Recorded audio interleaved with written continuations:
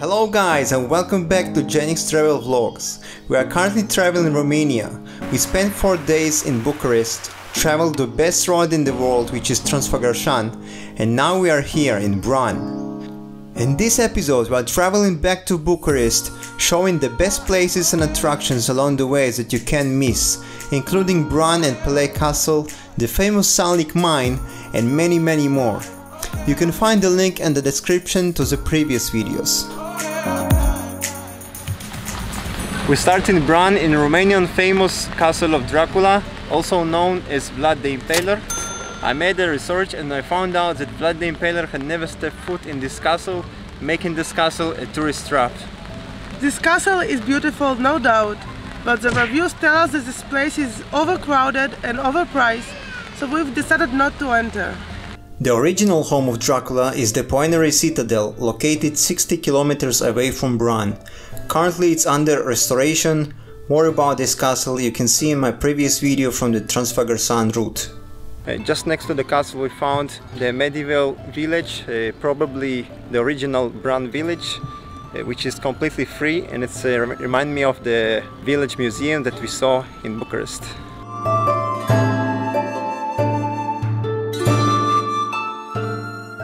Our next stop is the castle of Peles in Sinaia. The story is about Carol I who visited those areas and he totally fell in love on the magnificent scenery so the crown decided to purchase 5 square kilometers of land to build the, the summer retreat and later on the castle of Peles.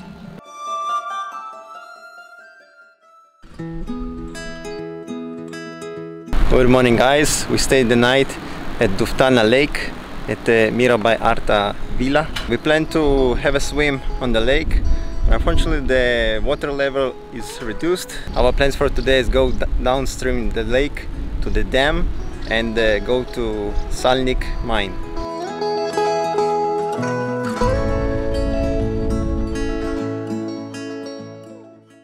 Welcome to the biggest salt mine in Europe, the Salnik Prahova.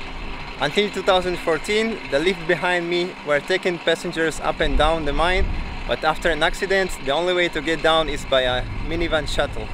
The entrance cost is 45 lei and bring with you something uh, warm because it is cold down there. Wow, from the moment you enter here, you got this wow effect from how huge this place is. It's incredible. Incredible. It's like a, a skyscraper, but inverted. the visit to the mine is especially excellent for people with chronic respiratory problems like asthma, you come here, you breathe the salty air of the mine. You can actually make a subscription and come here for multiple times. You can spend your time here playing pool, table tennis, basketball, etc.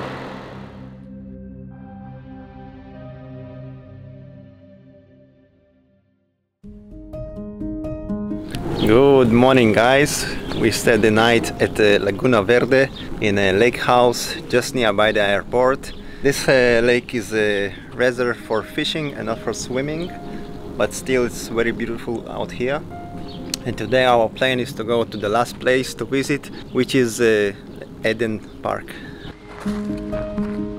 Just 10 minutes drive from Laguna Verde, we arrived to Edenland Park.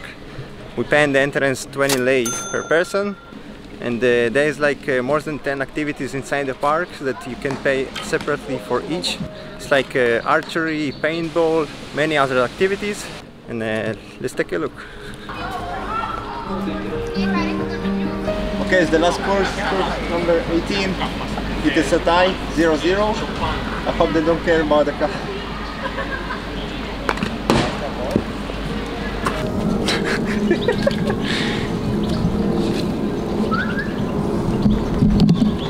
That's it guys, that was our third and the last video from Romania. If you wanna see our previous videos from Romania, you can see it from here and here.